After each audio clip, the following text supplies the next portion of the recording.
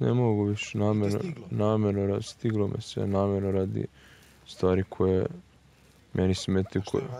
Ma nebitno, to si- to je sad najbizarnija situacija. Ako se neko uhvati lupam, da me pitaju nešto, ako se uhvati te bizarne situacije koje je samo kap e, koja preliva čašu, znači ide prvo pet situacija koje ja iskuliram i onda šesta de puknem i- onda ispadne, onda se uhvati, znaš kao, zbog toga kao, ne nego zbog svega.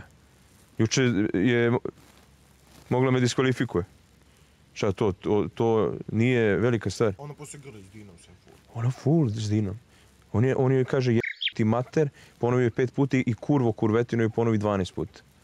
I ja, i ja se, ono, ja nemam, brate, ja gotovo, kla, pala mi je roletra, jednostavno meni kad, kad neko na bilo koji način znači, ovaj, ja ne mogu se kontrolišem i ja sam se zale, prvo se sačekao da obezbeđenje gleda tamo da se povuku malo i probao sam iza njega da prođe tamo pored ugledala zato što si on me uhvatio.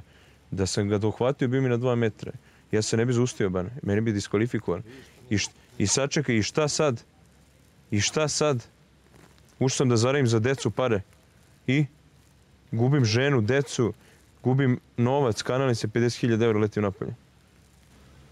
Dobro, decu ne gubiš, to, to, Ma gubim sve u životu. tvoje, pa je tvoje, to su tvoja deca i da se vi razvedete sada, mislim ono da se... Ma bre, koje bi, koje bi oni poštovanje imali pre meni, bre, posle ovog? Ma ne, bane, pusti mu, p***, materine, bre. Sve sam izgubio, sve. Ja sam svestan sam sve izgubio.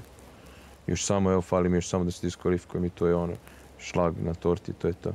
Ja ovako, ja neću se, ku, ja se ne kurčem, brate, ja se tu ne, ne svađam, ja se ne prepirem, ja ne čekam obezbeđenje dođe. Ja, ja meni ako padne ruleta, brate, ja